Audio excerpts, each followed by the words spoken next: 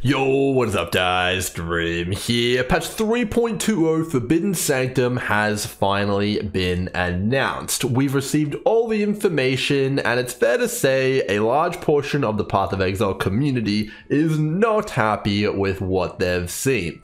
Today we're going to dive into why that is, but also some of the hope in the patch and why I'm personally excited and I think you guys might be too. The end of year Christmas holiday expansion for Path of Exile is always a big deal, normally containing a continuation of the endgame story and lore, new ways to customize your character, craft, and interact with different skill gems, as well as, of course, new things to farm. So to say that expectations were at an all-time high for this one specifically, after a bit of a rough year for Path of Exile overall, and coming off the back of one of the worst received leagues of all time, time, Lake of Kalandra, is a bit of an understatement. Couple this with some pretty major releases coming out right now and in the future in World of Warcraft Dragonflight and Diablo 4, people were expecting something big. So, did we get that? Well, not exactly. There's no continuation to the story, no big new systems or ways to customize your character, limited amounts of new skill gems with very little rebalancing, and there's been some tweaks to the Atlas passive tree, but nothing groundbreaking or brand new. To understand the disappointment of some in the Forbidden Sanctum announcement, we first need to see what went wrong with Lake of Kalandra, as that really will tell the story of what is going on here.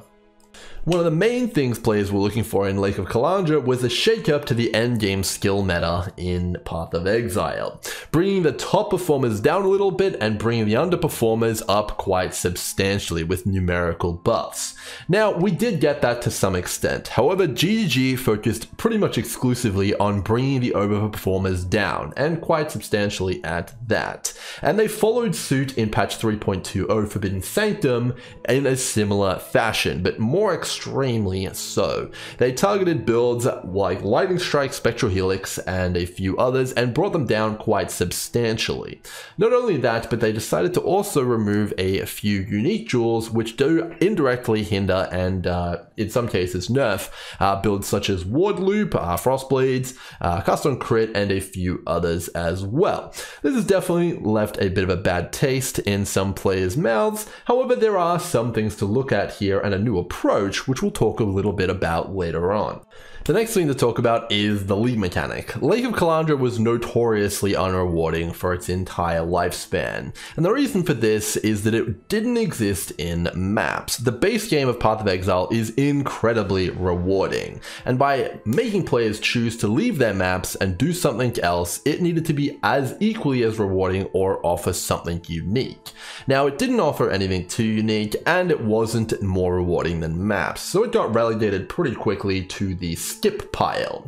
Now, the Forbidden Sanctum also does not take place in maps, and that is a massive cause for concern, because even after many buffs, the Lake of Kalandra League was still not well received, and overall is some fears that we may have a repeat of that. But of course, there is a solution in place, we'll talk about that a little bit later. The last comparison I'll make here is communication and accessibility. Accessibility has always been a big issue for Path of Exile, but it was getting pretty good around about the 3.13 or 3.14 point of PoE's lifespan.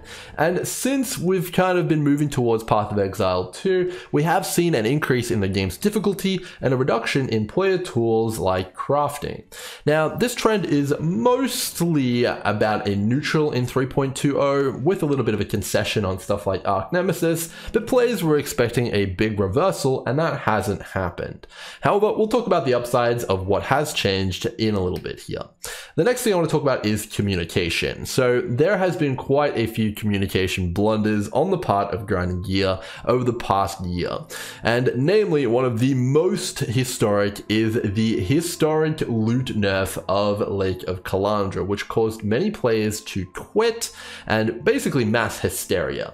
Uh, and that has not really been resolved, with many players believing that loot is still going to be in a poor place. Uh, and overall, uh, even I don't really understand exactly where loot is, like relative to where the game has been in the past. So that's still largely unsolved and was actually asked in a developer Q&A in the 3.20 announcement, and it was one of the most awkward things I've had to watch on one of the announcement streams. So it's definitely a little bit still shaky and in a weird place in terms of communication and accessibility. So things aren't looking too great, or so it seems. So with all that out of the way, let me share with you guys my perspective. A bit of a different one, and why I'm excited for Forbidden Sanctum. Let's kick it off with skill balance.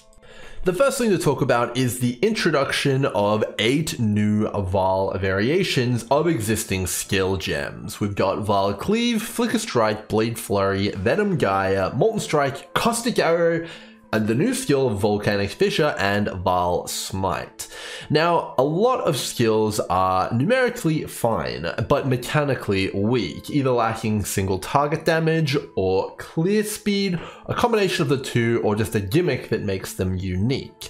Now, overall, GGG could have gone with a numeric buff of 30% to all underperforming skills, but it appears they're going with a different approach, and introducing a Vaal variant to these skills specifically may actually give them some time to shine. Let's go over a few of the more standout ones that I think might actually shake up the build meta after all, which I've got my eye on. First up, Vaal Smite. So Smite is traditionally a very powerful skill, namely a support skill, but it is also used as a primary skill. Players like to use this one as a uh, slam skill, but it also gives you a really big lightning aura. Now, we don't know what Vaal Smite does yet, but if I had to hazard a guess, it's probably going to give you an additional or more powerful lightning aura, which is going to further boost your skills. Now, this can be used in a myriad of ways. Not only will it give the traditional Smite build more single target damage, which, you know, makes it very, very good at a single target scenario kind of bossing build, but it'll now offer builds who can run Smite either as a support or as, you know, a secondary setup, two auras potentially instead of one. Now that's just speculation, but it has definitely got the room to shake up melee builds overall, offering them a substantial amount of lightning damage and something a lot of builds need, which is single target damage. The next thing I want to talk about is Caustic Arrow, Vaal Caustic Arrow. So Caustic Arrow is actually one of the best clear skills in the game early on in a league start scenario. It's a damage over time uh, kiosk skill, which puts it in a premier position. Lots of uh, builds are very good at league start. Um, but the one thing it lacks is actually single target, relying on things like uh, ballistas or um, toxic rain kind of uh, kind of setup to really get its single target going. Uh, now this does put you know some limitations on the build by having to run a dual skill setup. Now, if you were to run Vaal Caustic Arrow and it solved that single target issue with a big nuke, something like a Vaal Burning Arrow kind of thing, that could be quite interesting, especially if it has multiple charges and the dots overlap. You could also go for a full Chaos Bow build playstyle, sporting Caustic Arrow, Vaal Caustic Arrow, and Toxic Rain, creating a full package, something a little bit along the lines of an Ignite Elementalist or something like a Cold Dot build, which could be quite compelling. The next one I want to talk about here is Vaal Venom Gyre. So Venom Gyre is already a very competitive skill. Now I'm not entirely sure what makes this skill not as insane as a League starter. A lot of Venom Gyre builds have to League start Spectral Helix, which has been recently nerfed. Uh, however, I do believe that it may be single target. So Vaal Venom Gyre offers a increase in single target that might maybe help it out in the League start scenarios, but it could also double down on its already really insane clear and give it even better clear, making it potentially one of the new best mappers, better than it already is, uh, you know, to really take the crown perhaps of a number one spot. And these are just a few of the Vaal skills being announced. Now, there is, of course, the new skills as well, which, uh, you know, they look alright, but the proof will always be in the pudding with those. But there is also another approach that Path of Exile teams are going with, and that is to buff up some uniques in the endgame. Some of Path of Exile's most iconic uniques like Atziri's Disfavor and Voidforge are becoming substantially more rare, but also getting insane numerical buffs to compensate.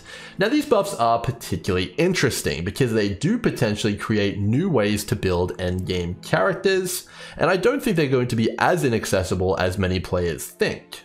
The whole idea behind rare items is supply and demand, and if there's no good compelling builds existing already for any of these builds, they won't be very expensive, opening up the door for build makers to potentially get a very powerful, cheap item if they can come up with a use case for it. So the items I'm most excited about are the ones that really have doubled down on the unique effects and the identity of the weapon itself. The ones I'm going to probably try out myself are the Atziri's Disfavor Axe, which has seen a massive numerical buff to its damage, but also a huge weapon range buff, which is going to allow you to reuse some of the points you've spent on AoE in other areas in melee builds and put them into more damage or more utility, uh, while also gaining the quality of socketed supports gems modifier um, from stuff like Yala's Malefaction, which could introduce some new build opportunities there as well. Maybe a bit of low life action, which could be quite strong. And the other one I'm interested mostly in is the Voidforge sword, which has just seen a massive increase in the extra elemental damage that it's gaining from its ability. And that one does look quite powerful. Another notable one is the Voltaxic Rift unique bow, which fully converts all lightning damage that you deal to chaos damage. A very interesting choice there. So I think there's going to be some pretty insane build opportunities with some of these weapons if people think hard enough. And if you get in early, they'll probably be pretty affordable to boot. In addition to that, we are also getting 15 uniques, which are getting added to the base game, either through the league mechanic or through other means, and some of these are absolutely disgustingly powerful to say the least, with the Flask, which has been announced off Uber Maven, being very, very strong, as well as the gloves, which I don't actually remember where they drop, but the ones which give you impale to spells, definitely going to be top tier 100% unless they get adjusted before release. They will be one of the best ways to build Bladefall Blade Blast without a doubt. So there is definitely a lot of build potential here through the Vaal skill gems in the early game. For sure, those will give skills really high power levels, I think, if they're done correctly. And in the end game, we have new uniques and improved uniques in the form of the new weapon uh, improvements. Uh, so it's definitely looking like there is some new build potential, but we obviously are losing the builds that we mentioned earlier. Let's talk about the league mechanic. This one feature is likely going to decide whether or not you want to check out 3.20 because it is the most compelling thing on the plate. If I had to describe it, it looks to be a little bit like a favorable mashup of Heist, Ultimatum, and Lake of Kalandra, all tied up in a rogue-like package. Now, let's talk a little bit about the obvious. It has very, very large similarities to Lake of Kalandra and how the rewards will likely function. Uh, overall, it does look like it's at a risk of being unrewarding, potentially compared to maps. However, this is mitigated somewhat through the unique reward that is being offered from the Forbidden Sanctum mechanic.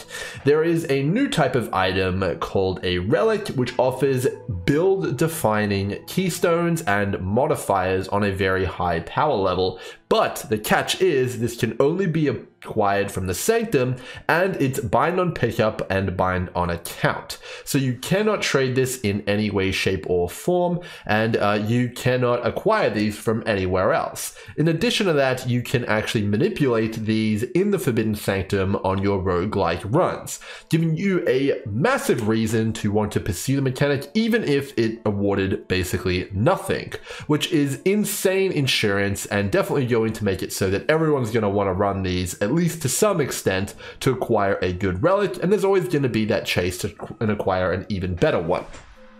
Now, on my uh, own personal um, kind of level here, I have to say this is probably the most inspired mechanic I've seen from Grind Gear Games since since the Synthesis League, and it's probably the most hyped I've actually been to try a mechanic uh, since then as well. It looks fascinating, it looks like a ton of work has gone into it, and not only that, but a ton of passion.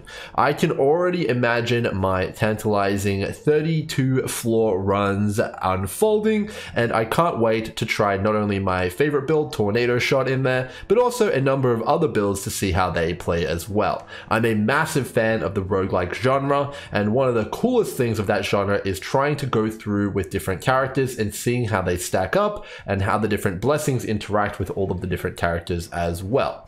Now, I think that it probably will be very easily cheesed and you will be able to max out the rewards despite what Chris Wilson says. And it'll be pretty interesting to see just how high they'll go. But overall, I think it's going to be a lot of fun, not only for high end players, but also players just looking to get into the game and also just have a bit of fun. So overall, I think it's a smash hit mechanic, assuming the, uh, the resolve mechanic is tuned correctly, as well as the rewards are tuned correctly. I'm very excited about this one, and it will not be relegated to the skip pile, assuming the power level of the relics is what they showed in the announcement.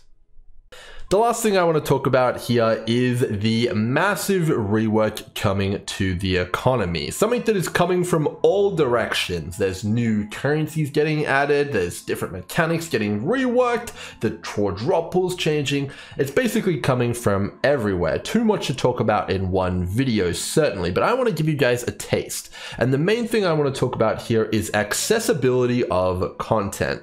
Now, despite what I've said earlier, there's definitely been a lot of build build nerfs, there's been a lot of communication issues, but the one thing DGGG has definitely consistently tried to do is make farming strategies more open to everybody, allowing players to play their favorite mechanics when they want, how they want, at any point of progression. And it looks like the Forbidden Sanctum League is another big step in the right direction. So right now, there's a few mechanics which are incredibly inaccessible or quite expensive to access and farm. Now, even though they're incredibly profitable, profitable, there is a high barrier to entry, basically limiting the most profitable stuff uh, from the majority of the player base. I'm talking about stuff like Delirium Mirrors, Harvest, Ritual, and even some other mechanics like Legion. The problem stems from the fact that you can only access mechanics consistently through the use of scarabs or compasses or sextants. Now these are generally pretty expensive and are generally tied to the players who can make use of them the best, and that's generally going to come with a very expensive build or a lot of game knowledge. The introduction of new Atlas passive points, which allow you to encounter league mechanics more frequently, uh, hopefully up to 100%, is going to change that. Now, in addition to the fact that you wanted to maximize these with a good build and game knowledge, you also wouldn't be caught dead running these mechanics in low maps. You're not going to invest a really high value Delirium Mirror or a um, Harvest Compass in white maps, meaning those mechanics were essentially relegated to only being able to be farmed in high tier maps for the most part.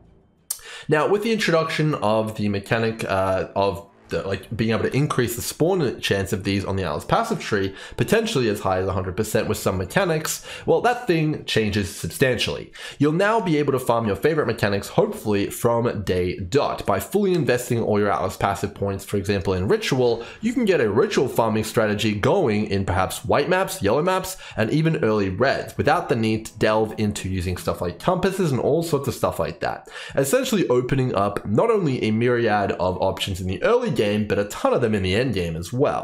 Not needing to stress about making sure that you're making your money back on stuff like compasses by min-maxing gameplay to the absolute extreme is going to make farming a lot more comfortable for a lot more people, and for content creators, there are going to be a lot more strategies on the table, further diversifying what people are actually farming and increasing the amount of options people have, which is going to be a really big directional move uh, for the game, and it's going to kind of take a lot of the pressure off people on doing doing the best thing all the time because you can just do what you enjoy and you'll likely make a pretty good amount of currency. You might not make the most currency, but you'll likely make a pretty good amount to play the builds you want and get closer to your next goal. In addition to that, the pressure to rush all the way to tier 16 maps to maximize your profits might not be as severe. If you can get rituals on every single one of your yellow maps and you're having fun and you're making some reasonable currency, that might be good enough to hang out there and maybe wait for a few upgrades before you have to move on to those red maps. And I think overall, this is the change I'm most excited about.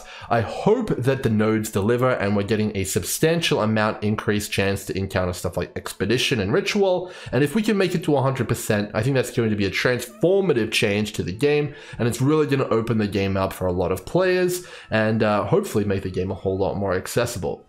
So these are just the three things which I'm most excited about in the new expansion, and I think that they outweigh the negatives. Even though there's a bit of a risk, I think that GGG is trying different things, they're trying new things, and they're trying to move the game in a reasonable direction, and I'm pretty damn excited for the new league mechanic and everything that comes with it, and I'm sure there's things I've missed or things that don't specifically appeal to me, uh, and that you guys are excited about as well feel free to comment down below what you guys think of the reveal. There's a bit of bad, but there's certainly a whole lot of good with it as well. And I'll see you guys on League Start. Make sure to subscribe for more 3.20 action. I've got a brand new League Starter in the works and it's coming soon. Until next time, cheers.